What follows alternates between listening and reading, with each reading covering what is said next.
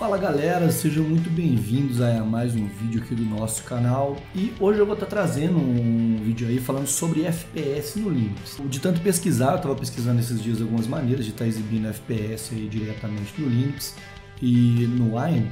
Eu achei algumas matérias que eu vou compartilhar com vocês, tá? Olha, é, eu utilizei como referência aqui, tá? O, esse tutorial aqui do lado do Acre Linux, que é feito pelo Grayson, viu? Funciona no Fedora eu utilizei ele como base. Também temos aqui no site do Dio Linux, está ensinando a instalar o GLX USD.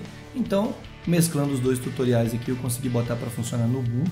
É, funciona bem melhor aqui com o script do Grayson aqui no, no Fedora, tá? Eu vou colocar uma imagem para vocês verem. O GLX USD fica bem mais detalhado no Fedora. Eu tentei agilizar, não consegui, tá? Mas como o intuito não é ficar bonitinho, é só trazer informação, então não preocupei muito de de estar tá, é, fazendo isso aí não. Caso alguém queira é, fazer o script e conseguir ajeitar no Ubuntu, pode me dar aí que eu vou compartilhar, colocar na descrição aí, é, juntamente aí, ok? Bom galera, então eu utilizei esses dois tutoriais aqui, tá? Para mim utilizar o, o GLX OSD, ele ficou dessa maneira aqui.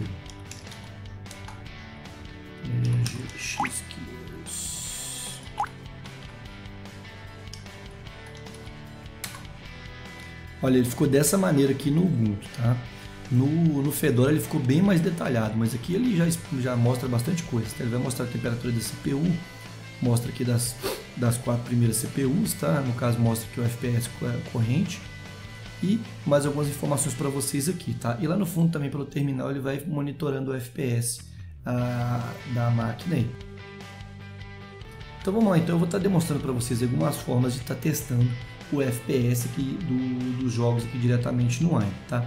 Então, para a Steam, galera, é, a Steam nativa, é, deixa eu ver, tá fechada. Então, para a Steam nativa, é, vamos pegar aqui já no, no tutorial do Dio Linux, aqui vocês vão achar aqui, ó, tem o comando lá para a gente estar tá rodando, tá? Cadê? Tá aqui, ó. Para quem usa aquela camada da Steam Overlay, tá? Que clicou no menu Shift F Tab, com Shift Tab, vocês têm que utilizar esse comando aqui embaixo, tá? E caso não usem, vocês vão utilizar aqui glxusd, tá? traço, traço steam.command. É só copiar, tá? Vocês vão vir aqui. Não são todos os jogos que são compatíveis, tá? Então vai só alguns jogos vai funcionar, muito poucos, tá? Pouquíssimos jogos vão funcionar. É, um que eu testei foi o Might Number 9, tá? Olha aqui, vocês vêm, vem aqui na opção de inicialização e colam o comando aqui, certinho? Colou, é só iniciar o jogo. Eu vou iniciar aqui o Sense Row, que esse aqui também funcionou aqui só para vocês verem aqui o início aí, olha lá.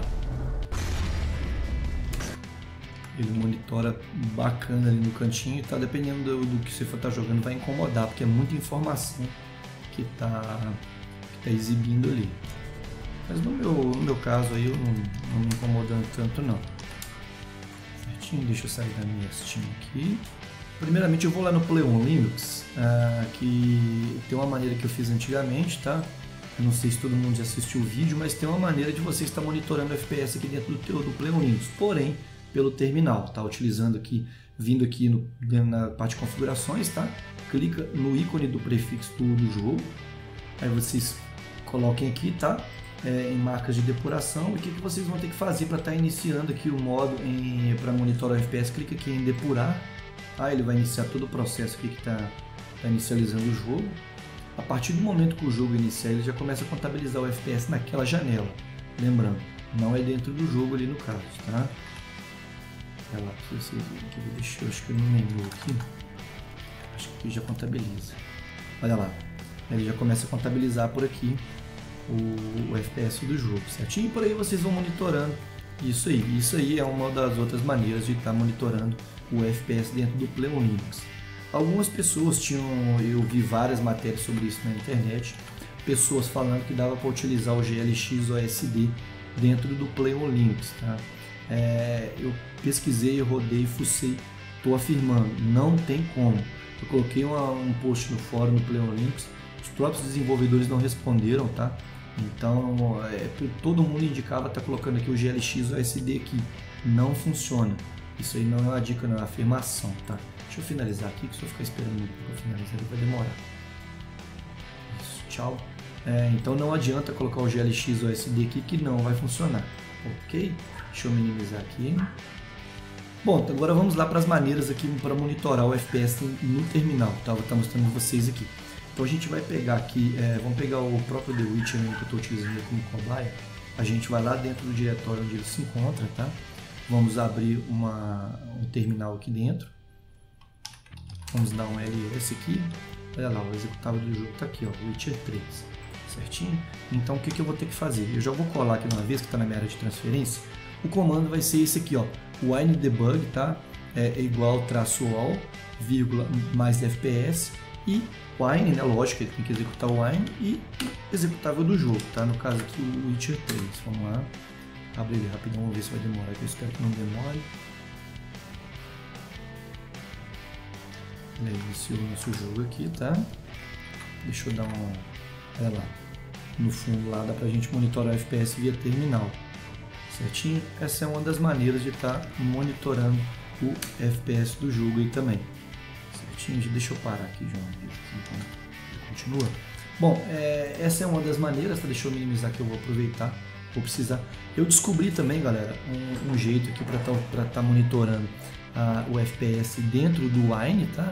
Para deixar visível na tela do jogo e também os jogos vai funcionar tanto para jogos não Steam, tá? Que esses jogos é fora do aplicativo da Steam e também para os jogos da Steam também vai funcionar, tá? Então a página de referência que eu encontrei foi buscando pelo Google, é, eu estive pesquisando, tá? Como tá Inclusive a afirmação que eu estou falando sobre o GLX USD, eu vim parar nesse post aqui, tá? E lendo aqui pelo post, é, eu vi as pessoas, tá? Essa informação que eu acabei de dar eu descobri por aqui também. E mais embaixo eu vi umas pessoas falando sobre o ASDCat, tá? Eu não entendi o que que era e fui buscar atrás, tá? Então ele é, ele é um contador de FPS que vai funcionar em cima do X, tá? No caso do nosso X aí. Então, basicamente, para estar tá instalando aqui no, no, Ubuntu, é só utilizar esse comando, tá?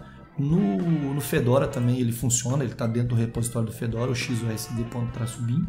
Então vocês podem estar tá fazendo isso aí. Bom, eu vou estar tá mostrando vocês aqui que eu tenho salvo aqui um, é, um rascunho, porque é muita coisa para estar tá utilizando. vou mostrar para vocês aqui como é que funciona um contador simples, tá? É, vocês vão utilizar essa linha completa. Vocês podem mudar a cor do contador aqui, tá? Eu vou estar mostrando aqui, fica mais prático aqui. Então a linha toda vai ser essa, bem grande, tá? Mas depois de wine ali, vocês vão pegar aqui e vão chamar o jogo aqui. Lá, Witcher 3.exe, tá? Vamos dar um Enter. Vamos esperar ele iniciar aí.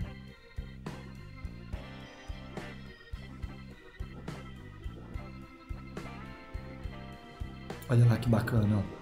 Ele vai vir dentro do nosso game já funcionando.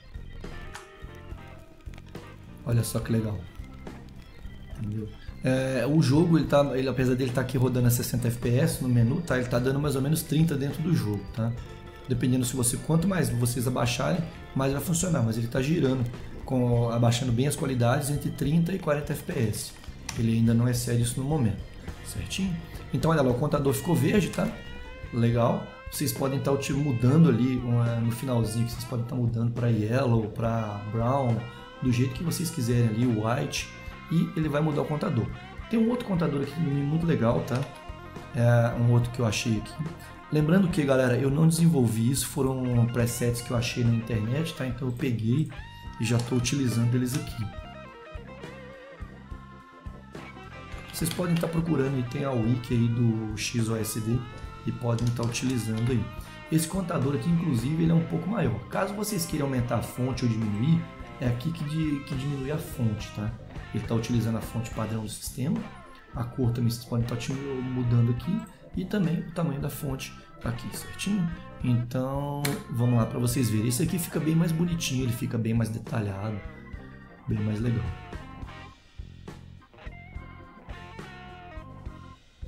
Olha só que legal, ele fica mais detalhado e amarelinho, tá vendo? Ele fica com a fonte estilo Times New Roman lá fica bem mais legal, bem mais visível. Olha só, bacana, né? Então, beleza, aí tá o exemplo, outro exemplo para vocês. Então, vamos aqui para o próximo. Bom, então, uma coisa que eu queria mostrar aqui para vocês é o GLX OSD, tá? Ele, a gente vai colocar aqui o Wine, Witcher 3. mostrar para vocês. Ele vai puxar o Wine, ele vai dar algumas informações de erro, tá? Ignora, o Wine é muito complicado, então ele sempre vai dar erro mesmo, não tem jeito. Mas olha só que legal, o que, que ele acontece. E tá funcionando aqui o GLX OSD com o nosso jogo, certinho? Então, deixa eu puxar aqui mais uma opção que nós temos, tá? Então lembrando que essa versão é de OG, tá? Não é a versão nativa e nem a versão Steam. Tá legal? Ele dá milhões de erros, mas ignorem isso aí. Vamos lá para o nosso próximo teste. Bom pessoal, então vou trazer para vocês aqui só uma demonstração do Fedora, como que o GLX USB roda sobre ele, tá? Vou mostrar aqui rapidinho. Deixa eu ver quanto tempo, deixa eu apagar essa mensagem, espero que não chegue.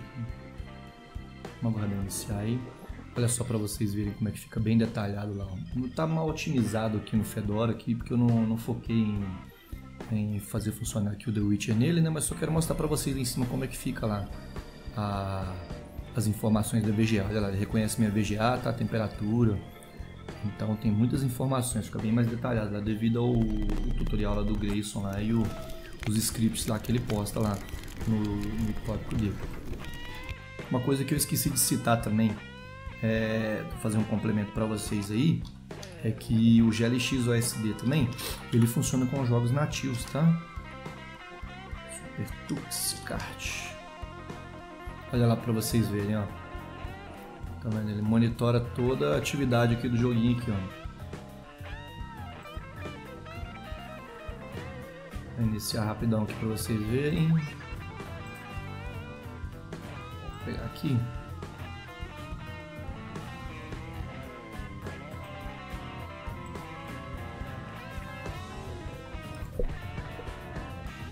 Só iniciar aqui para vocês verem rapidinho, ó. Inicialmente ele dá um frame drop na hora que está carregando, mas olha, já pulou para 60 lá e vai tranquilaço.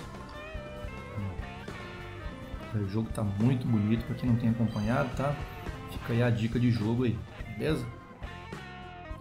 Então, nosso próximo teste aqui, galera, agora vai ser dentro de um outro jogo aqui. Tá bem dentro desse prefixo aqui, ó. E, cara, aqui vai me tomar mais tempo. Então, eu só vir aqui é bem mais rápido. Diretório, a Steam Apps, como... Opa, não minto. Aqui, não, tô viajando. A gente vai vir dentro da pasta da Steam aqui, tá? Então, eu vou eliminar esse terminal desse aqui. É, eu vou abrir o terminal aqui dentro certinho. Então eu vou estar utilizando aqui agora a, o GLX OSD, tá? Vou fazer um teste aqui para vocês verem. Dentro do opa, Wine, né? E Steam. .exe. Vamos lá iniciar Steam aqui.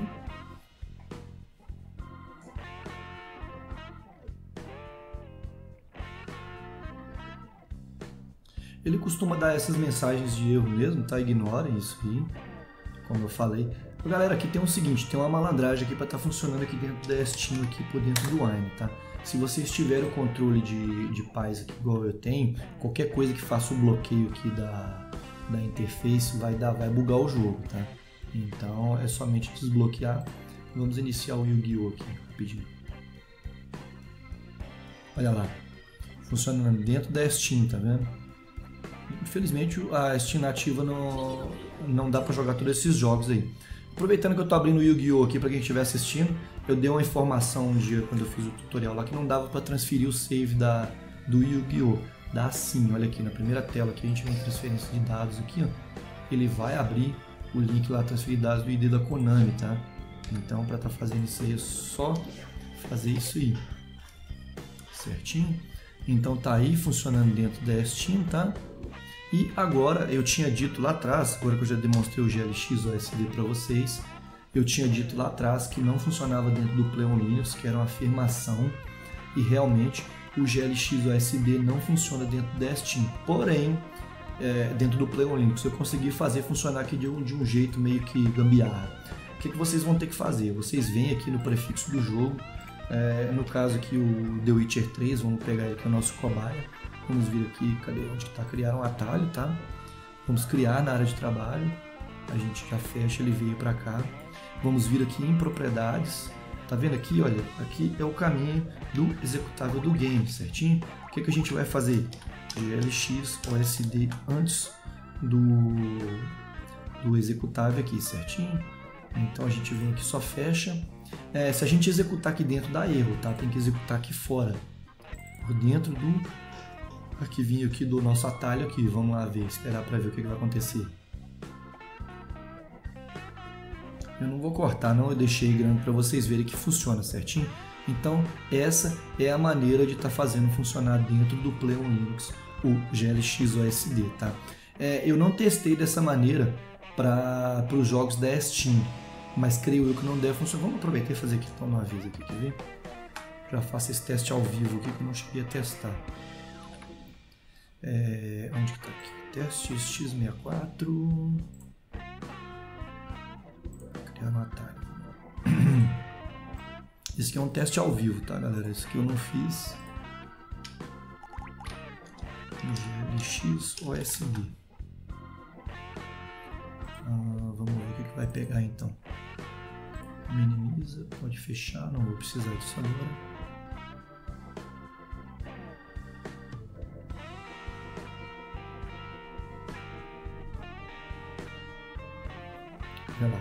Abriu aqui, então vamos vir aqui em jogar no Yu-Gi-Oh! mesmo, que ele vai abrir mais rápido. É um joguinho mais simples. Olha lá, então funciona através do Pleon Linux também utilizando a Steam. Beleza? Nossa, é muito alto, eu não abaixei, vou ficar surdo.